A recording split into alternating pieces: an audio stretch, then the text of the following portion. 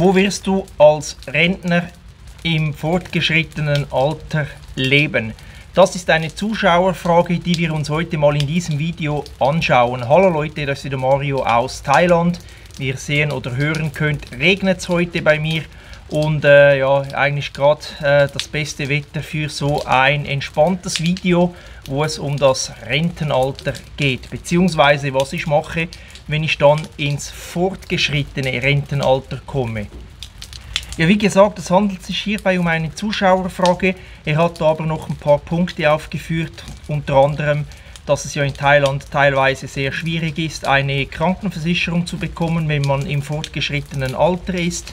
Dann auch Verständigungsprobleme. Im Weiteren weiß man ja auch noch nicht, wie die Kosten in Zukunft sein werden.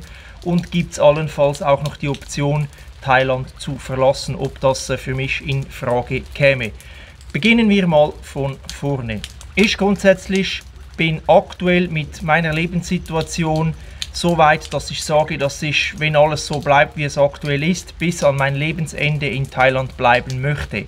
Ist natürlich klar, dass äh, wenn da irgendwie mal was geschehen sollte, familiär, Todesfall etc., dass man das Ganze neu beurteilen müsste. Aber so wie es jetzt läuft, äh, ist Thailand für mich schon der absolute Favorit und äh, ich gedenke auch nicht, äh, Thailand zu verlassen.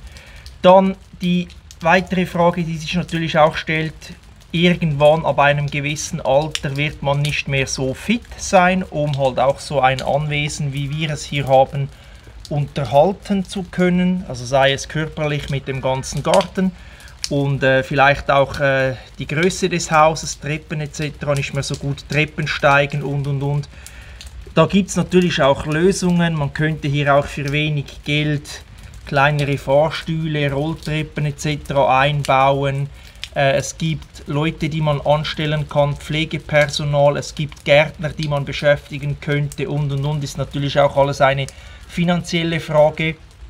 Aber wenn ich so ein bisschen vergleiche mit den Nachbarn, oder mit den Thais, die hier in der Umgebung leben.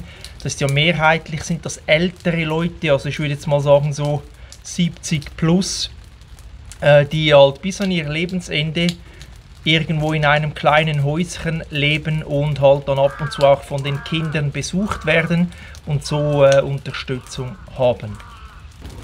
Unabhängig vom Wohnort werde ich versuchen, so lange wie möglich im Eigenheim zu bleiben. Es kann gut sein, dass ich hier bleibe, wo ich jetzt bin, aber es ist ja auch gut möglich, dass vielleicht in ein paar Jahren mal der Wohnort gewechselt wird. Das kann man ja jetzt auch noch nicht voraussehen, aber grundsätzlich ist es in Thailand nach wie vor sehr einfach und auch günstig an Eigenheim zu kommen, jetzt im Vergleich zur Schweiz. Und äh, deshalb ist schon das Ziel, möglichst lange in einem Eigenheim zu leben. Und dann kommt dann eben die Frage auf, ob es am Schluss eine Pflegerin sein wird, die einen zu Hause pflegt. Da ist halt auch noch die Frage, bis zu welchem Grad, bis zu welchem Alter. Ich äh, tendiere hier eher so, dass ich mir jemanden ins Eigenheim hole für die Pflege, solange ich selber noch laufen kann und auch noch äh, ja, ein bisschen was äh, erledige selber erledigen kann und nicht äh, zu 100% auf Pflege angewiesen bin. Und sollte es dann so weit kommen, dass man wirklich auf Pflege angewiesen ist, also dass die Pflegekraft jeden Tag hier sein müsste, dann äh, ist es für mich Zeit, in ein Alters- und Pflegeheim zu gehen.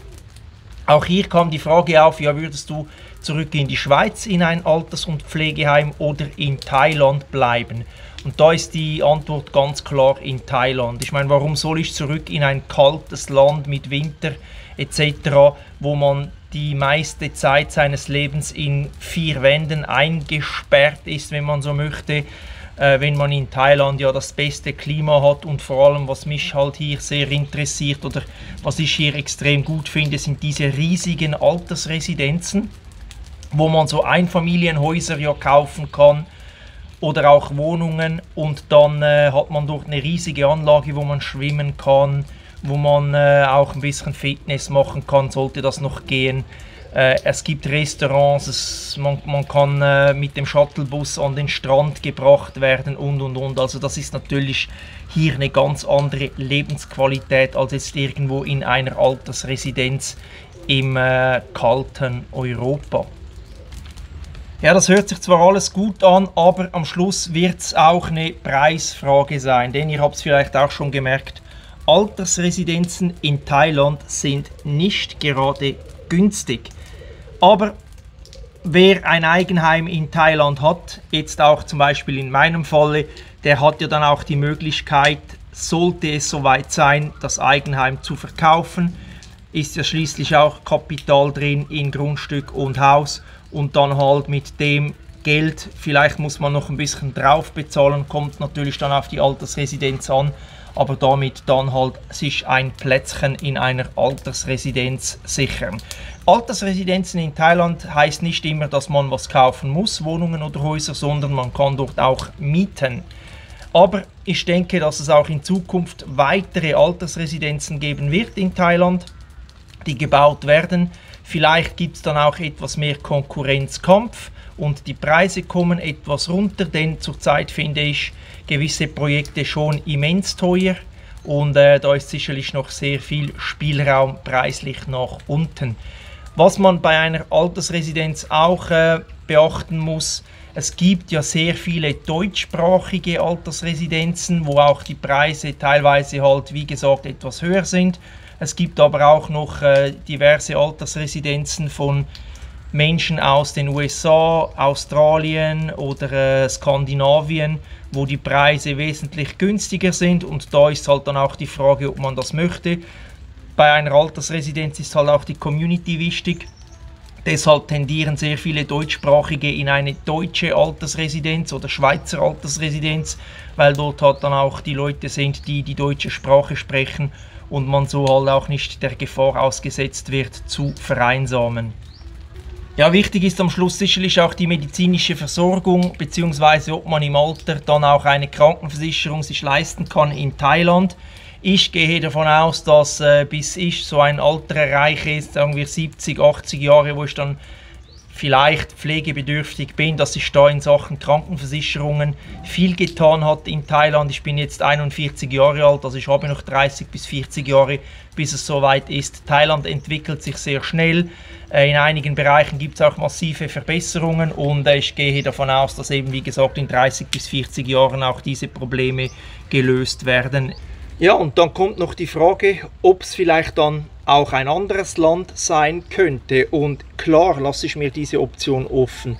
Und äh, das würde ich euch auch anraten. Also ich kenne einige Rentner, die äh, jetzt auch schon mehrere Jahre in Thailand gelebt haben, sehr zufrieden waren. Dann haben sie halt so plus minus das 70. Altersjahr erreicht, haben gemerkt, dass sie Probleme bekommen mit der Krankenversicherung, sich da halt auch nicht mehr so wohl gefühlt haben und äh, dann halt wieder nach Europa sind, also grundsätzlich vielleicht aus der Schweiz und Deutschland kommen, aber dann halt gesagt haben, hey, Spanien, Portugal gefällt mir auch sehr gut oder Griechenland und äh, sind halt dann äh, ja, in die wärmeren Regionen Europas und leben jetzt dort. Also das ist natürlich auch eine Option, die ich mir offen lasse, wobei ich äh, denke, dass diese Option für mich dann eher schwierig sein wird, weil wenn du Jetzt rechnen wir damit, dass ich bis 60, 70 in Thailand bleibe. Dann äh, gefühlt, wie lange bin ich jetzt in Thailand? Zwölf Jahre plus nochmals etwa 30 Jahre, dann bin ich über 40 Jahre in Thailand und dann nochmals in ein anderes Land, zum Beispiel Spanien oder Portugal. Einfach nur, äh, ja, da, weil dort äh, die Krankenversicherung etwas einfacher ist. Dann äh, muss man sich auch überlegen, ob man das im Alter noch mitmachen möchte. Da gibt es ja auch in Südostasien einige Möglichkeiten, die nicht allzu weit weg liegen und halt auch vielleicht von der Kultur etc. ähnlicher sind, also zu Thailand als jetzt äh, Spanien, Portugal oder was es sonst noch alles gibt in Europa.